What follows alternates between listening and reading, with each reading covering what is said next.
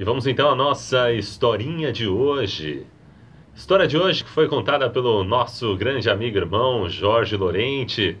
História que conta que tem tudo a ver com a festa de hoje, a festa da exaltação da Santa Cruz. Dia 14 de setembro, hoje, a igreja celebra a exaltação da Santa Cruz. Essa festa que nasceu em Jerusalém nos primeiros séculos do cristianismo. E conforme a tradição popular, as comemorações tiveram início no ano 326, quando Santa Helena encontrou a cruz de Jesus Cristo. A sua celebração estendeu-se com grande rapidez pelo Oriente e pouco depois por toda a cristandade. Contam os historiadores que no ano de 614 os persas saquearam Jerusalém, destruíram muitas igrejas e se apoderaram da Santa Cruz. No entanto, Após intensa batalha, no ano de 628, as relíquias foram recuperadas pelo imperador bizantino Heráclio. E segundo uma piedosa tradição, quando seus soldados recuperaram a Santa Cruz, o imperador Heráclio quis carregá-la pessoalmente ao Monte Calvário, de onde havia sido retirada. Então Heráclio foi buscá-la acompanhado de seus súditos e cortejado com toda a pompa de um imperador.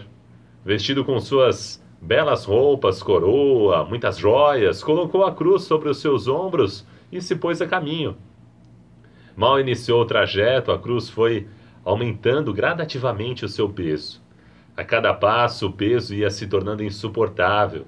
Ele já estava até pensando em desistir quando Zacarias, o bispo de Jerusalém, fez-lhe ver que para levar nos ombros a Santa Cruz, ele deveria se desfazer das insígnias imperiais imitar a pobreza, a humildade de Cristo, que para carregá-la despojou-se de tudo.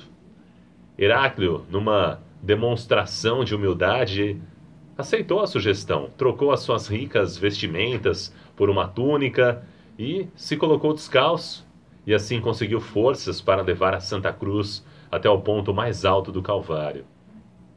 Este fato comprova que é impossível aos homens carregar a cruz diária recobertos de supérfluos, e que não existe evangelho sem cruz.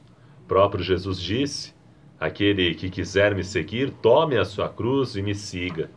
Todos passaremos por problemas na vida, meu irmão, minha irmã. Os conflitos, as dificuldades, não precisamos procurá-los, eles fazem parte da nossa vida. Alguns com mais intensidades, outros com menos. Às vezes a gente reluta né, em aceitar a dor, a cruz, a gente até maldiz as tribulações, e isso vai tornando o peso do madeiro da cruz insuportável.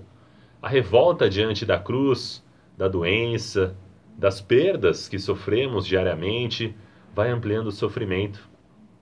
Para que a cruz do dia a dia se torne mais leve e que possamos aceitá-la com resignação, Basta lembrar que Jesus, no seu Calvário, só por amor, aceitou a vontade do Pai e derramou todo o seu sangue para nos salvar. A aceitação, ela ameniza a angústia e a dor. É o fermento que nos faz crescer e transforma a cruz em fonte de purificação da alma. São Padre Pio dizia já que a cruz é a chave que abre a porta dos céus. Meu irmão, minha irmã, para chegarmos à glória, passamos pela cruz em nossa vida para chegarmos à ressurreição, à vida eterna. A cruz faz parte sim do nosso caminho, mas para isso devemos aceitar, carregar esta cruz, abraçar esta cruz, porque sabemos que não estamos sozinhos, sozinhos levando esta cruz. Cristo está conosco, nos ajudando a levar, a carregar esta cruz. Que possamos, sim, saber que a cruz é uma passagem. Assim como Cristo esteve na cruz e depois, já ressuscitado, glorioso, a cruz foi uma passagem. Na nossa vida também. A nossa cruz não é para sempre que estamos carregando, não.